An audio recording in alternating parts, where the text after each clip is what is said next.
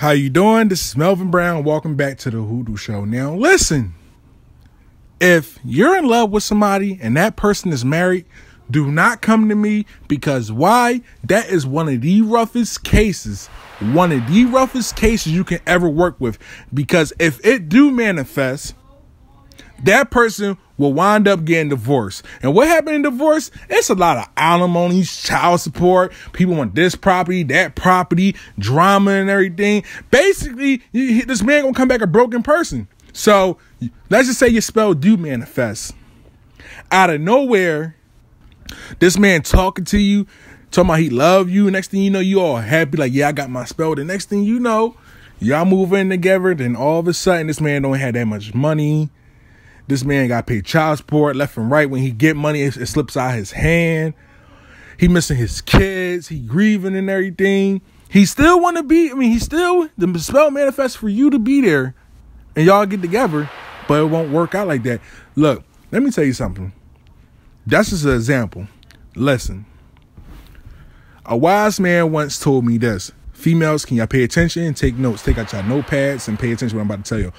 These are some jewels I'm about to drop for y'all. So have your pen and paper and listen to me. A wise man once told me this. With the females, and then listen. A wise man once told me this.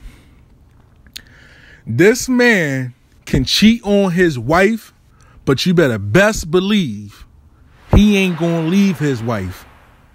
I'ma say it again. This man will cheat on his wife, lie to his wife, but you better best believe he's not going to divorce his wife at all. So this man might be having sex with you, talking about he love you, he miss you. And next thing you know, he talking about, yeah, I'm gonna divorce my wife and everything. And you all like, oh, I can't wait for him to divorce his wife. And next thing you know, you been you be waiting, waiting, waiting, waiting within a month, two months, three months, four months a year, two years, three years. It's never going to happen. Basically, you're going to be a side chick. Basically. Now, I had this one female client that I'm working with. I've been working with her since September. Okay, this man basically told her he was going through a divorce. Basically, what happens? She went to a root worker. You know what happened? It did not work out. She went to me. I told her this. I'm like, okay, this man, she's like, yeah, he talking about he getting divorced. I said, okay, when the last time y'all talk? Oh, we ain't talking six months. I said, look, you know why y'all ain't talking six months? Why? Because he ain't going to divorce her. No, no, he's just going through a lot of stress. Baby, don't be in denial. I'm telling you the truth. Now, we can work this case and work this case. I'm going to try my hardest to work this case out. What happens? All I know is I'm start doing the work. There's some communication going on. What happens next? They wind up having sex. What happened next?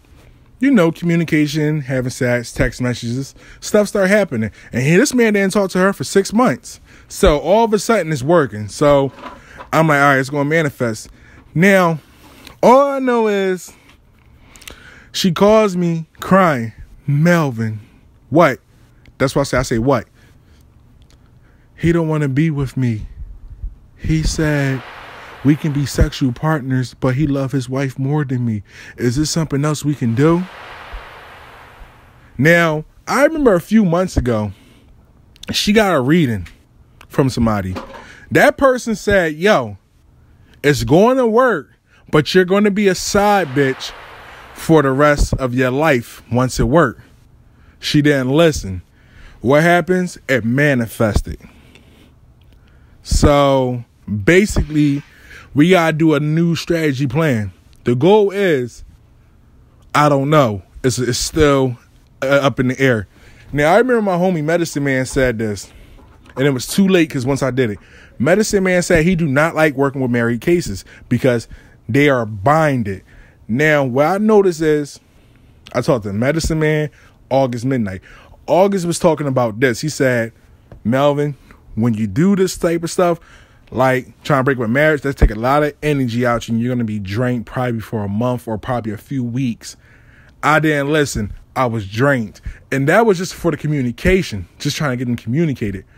Basically, when somebody get married, they are at a church or whatever, taking an oath to honor to love this person, and etc. cetera, et cetera.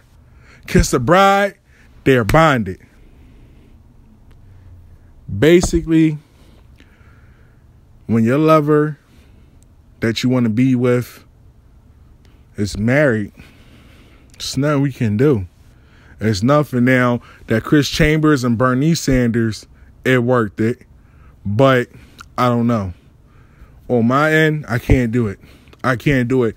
Like this is gonna be a, this is like this is still an open project, and I'm still trying to learn from experience. Like how can you maneuver through this? But basically, the man don't want to be with her. He told her, and she's still in denial.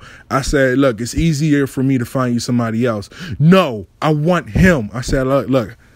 How long this man been married for? He been married for like seven years. Okay, look. If this man promised you and said he was going to divorce his wife, what happened? What happened? This man didn't leave his wife. So basically, you in the loophole and you gotta find somebody else.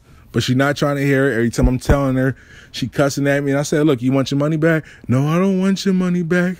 I don't want your money back. I said, Look, I am trying my hardest. The best thing I need to do for you is give you a distraction right now in the meantime while I'm working on this. That's what I have to do. Send her somebody else and give her a distraction. Like this, this, this shit is fucking crazy, yo. This shit is fucking crazy. Like if somebody calls me and say, Melvin, I need you to break this marriage and this married couple up. Fuck no. Fuck no. Fuck no. I don't care if you got twelve thousand dollars in my hand. Hell no. Cause that was a gift from God, and I'm not fucking that up. I could throw so many things at it, and it's gonna backfire on your ass. Not on me, on you. Then you're gonna be looking shit face. Melvin, I got him back, but the man knocked all my teeth out. All right, but this is what you wanted. You can't say nothing to me. Like you got like if a person is married, you gotta let them go and find somebody else. It's the truth. You gotta let them go and find somebody else. This is Melvin Brown. This is the Hoodoo Show. You can hit the like button. You can leave a comment. You can subscribe, or you can email me. I'm out.